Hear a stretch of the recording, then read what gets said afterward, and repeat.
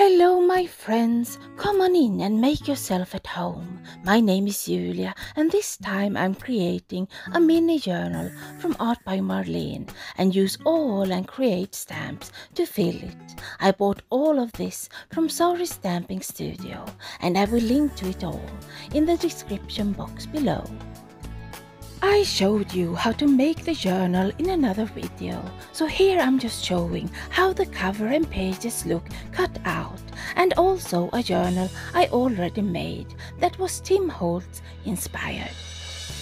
So I will use Distress ink in weathered wood and black soot and Distress oxide ink in hickory smoke. I intend to do some ink smooshing on the pages, so I smoosh the ink on the piece of plastic, spray with water and smoosh it very random over my cover. And I start with weathered wood. I dry in between and then I move on to hickory smoke and do the same procedure using a piece of packaging to smoosh the ink. Then I use black soot and do the same again and get that drama and contrast I'm looking for.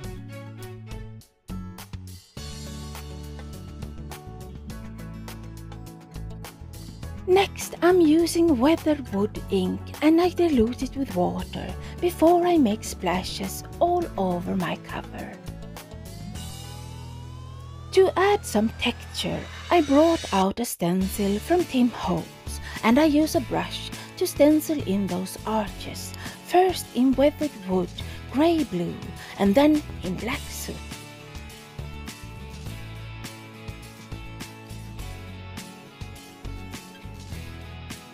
When I'm happy with the stenciling, I use black soot to go around the edges on both sides before I ink smoosh the inside cover in the same colors and the same stenciling.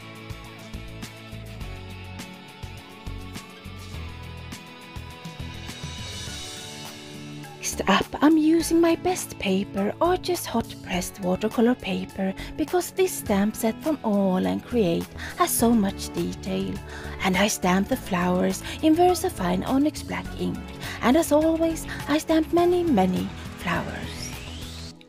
To color the flowers, I use Distress Oxide ink in Speckled Egg and cover my flowers with that light bluish gray. Then I bring in Weathered Wood to deepen the shadows and finally I use black soot to define my shadows more before I blend it all out with speckled egg again.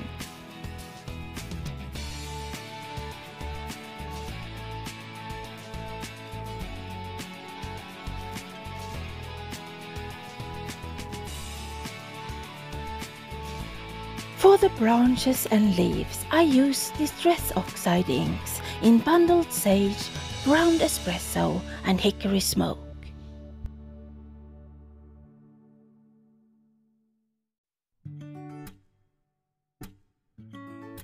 The last thing I do before fussy cutting is add more black to the shadows.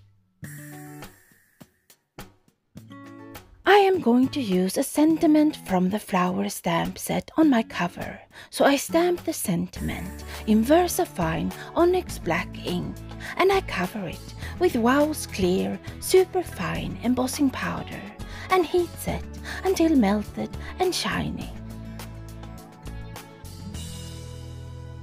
Next, I'm folding my cover and then I bring out all my flowers and start gluing them down. I snip off anything hanging off the edge and glue those flowers down on both the front and the back of the cover.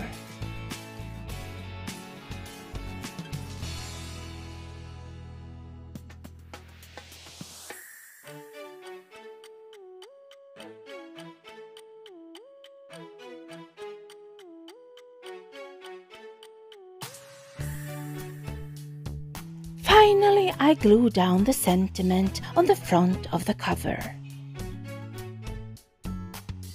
So, this journal needs pages and for the first I will use Distress ink in mustard seed and fired brick. I use the same piece of packaging and start with the yellow before I bring in the red and I do the same on both sides. When I smush, I always dry in between layers. And for the second page, I will use distress ink in picked raspberries and peacock feathers. This time, I'm impatient and smush the ink pads on my surface and smush the paper into the ink. And when I'm done smushing, I make splashes with the same ink, peacock feathers. For the third page I use distress ink in Seedless Preserves and Blueprint Sketch. I do the same smooshing as before and add those splashes at the end.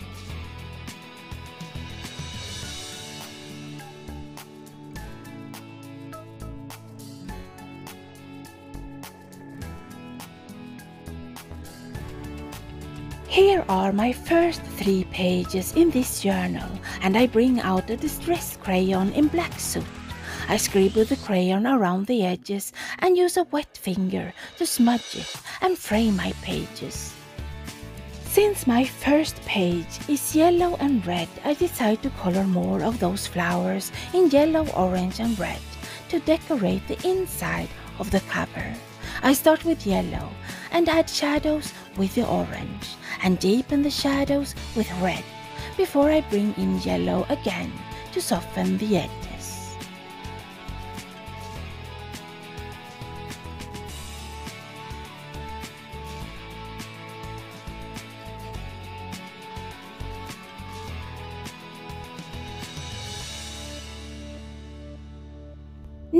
I glue down the yellow and red flowers on the inside of the cover.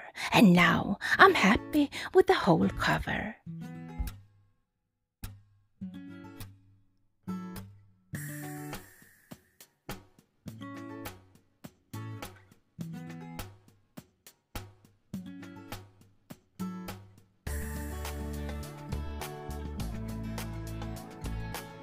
Now when my cover is finished, I bring out the small stamp sets from Aall and Create that I have collected. I stamp two video game playing boys because my video game playing boys are twins. Then I stamp the girl and her sewing machine. I have many dear ones that are amazing at sewing, but I can't seem to get along with my machine.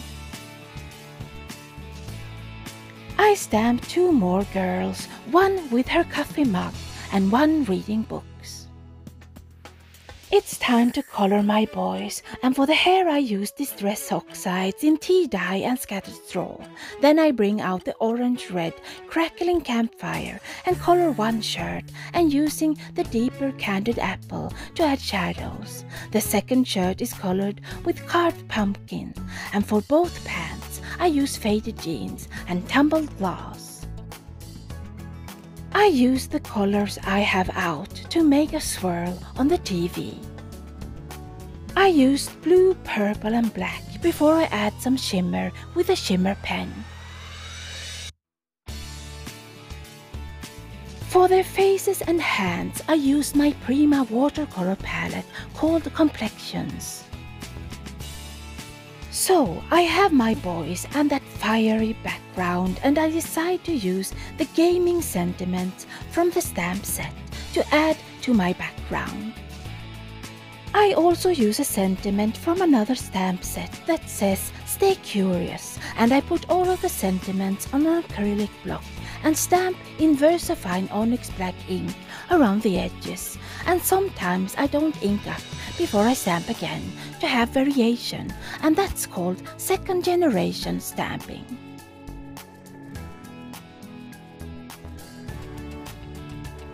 So let's color this girl and her sewing machine. I start with the table the machine is on and color that in vintage photo and ground espresso. For the sewing machine I used hickory smoke to give that white machine some shadow. For her shirt I used candied apple and fired brick for the shadows. Her pants are jeans and colored in faded jeans and tumbled glass. I'm using purple and blue for her flower eye and made her a brunette using vintage photo and ground espresso. And for her face I used the same watercolors as before. Next up, I color the girl and her coffee, starting with her dress that I colored with black soot distress oxide ink.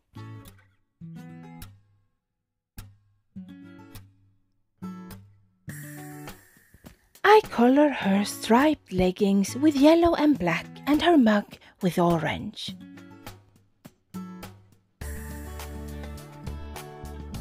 I used the same Prima palette to give this girl a darker skin tone.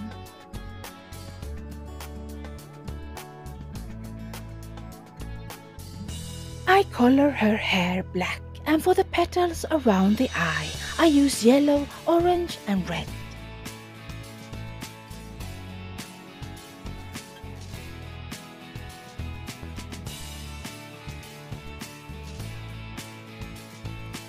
The book lover, I start with the complexion palette and give her a skin tone before I color her shirt with blue inks in peacock feathers and salvage patina.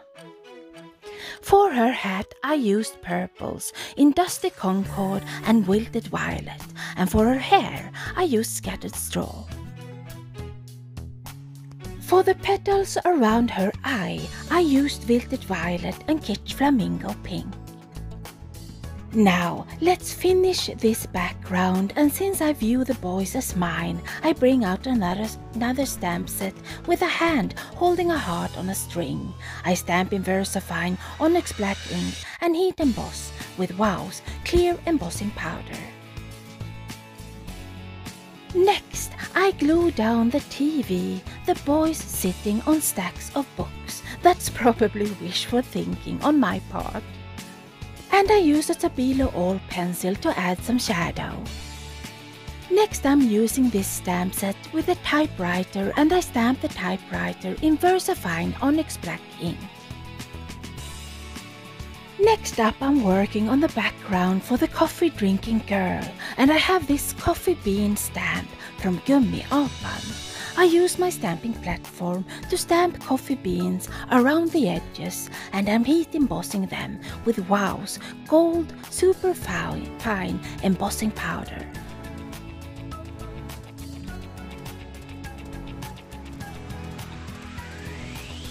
So this is how the journal is looking before I take the pages out and add my girls to their backgrounds, starting with the coffee lover.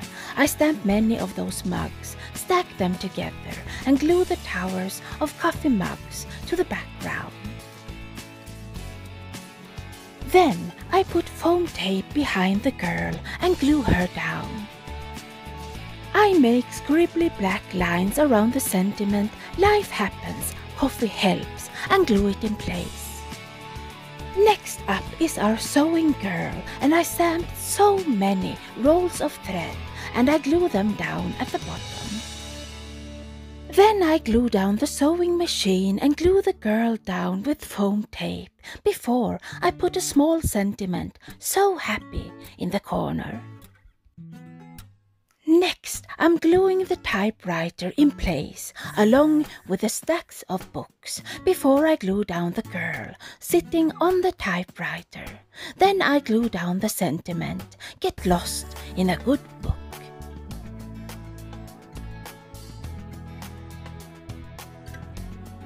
But I felt something missing on the page with the sewing machine, so I bring out a stitch stamp from Dylusions and stamp those faux stitches around the page, and I heat emboss them with clear embossing powder.